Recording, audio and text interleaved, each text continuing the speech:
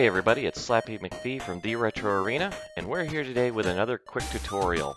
This one's going to go ahead and be regarding uh, the HID pack kernel upgrade for the Odroid XU4, specifically those users that had version 3.0 out there, and they're looking to bring their current build up to the, roughly the same level of what our new OS-based refresh is on the website of version 3.1.x.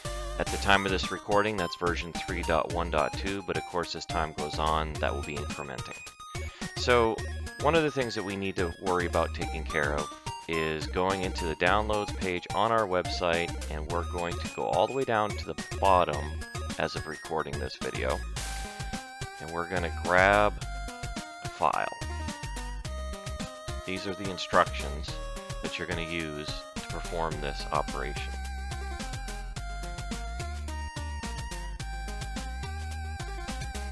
Alright. Go ahead and head into downloads. Extract. And let's take a look. Alright, so it's actually just a couple of steps that you're going to be concerned about, or actually a few, um, depending upon how you look at it. The first thing that we're going to need to do is SSH into our board as Pi Gaming. So let's go ahead and do that. So we'll pull up PuTTY. And connect.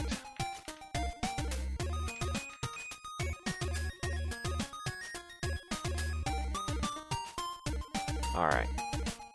I'm going to go ahead and copy this command that we have here in the hash. Actually, it's not a hash. I'm sure somebody will say something about that. But what that does right there is, is it goes out and it grabs the uh, required commands in the hotfix to be able to perform the action. So now we're going to go ahead and copy this line. And we're telling it that we're going to run this kernel upgrade. So before I do this, as a heads up, it takes roughly 45 minutes for this to complete. Um, and then other than that, about 10 to 15 minutes in, you will be prompted to answer yes. And that's essentially having to confirm that you want to go ahead and install required packages in order for this to work. So we will be back here shortly.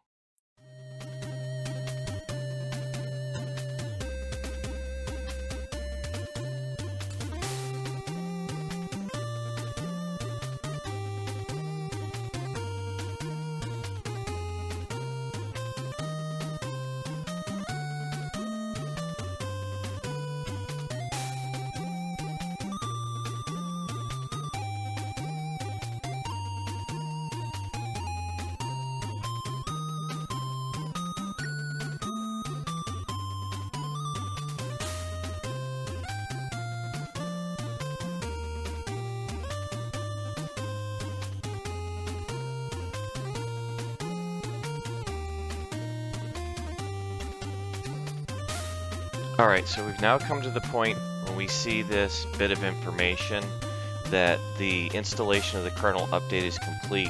And shortly, as you can see right here, right, the build is rebooting, which means that the installation should have been successful. Uh, once I see that it's back up, I'm going to go ahead and restart the session. We'll verify that we are seeing indeed the 3.10. 106 for the designation of the kernel, and we'll be all set.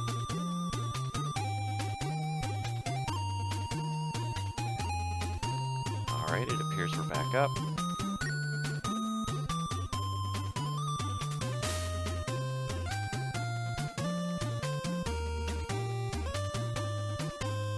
And as we can see here, we're on the Linux build 3.10.106 plus. So hope that this was uh, helpful for you out there that we're looking to, to get this done. Like I said, um, there's several new controllers that functionality has been added in for and support, as well as some other peripheral devices that you can plug in. So hopefully um, this is something that is beneficial for you. And uh, we look forward to talking to you on the next tutorial or else Arena Conclave episode.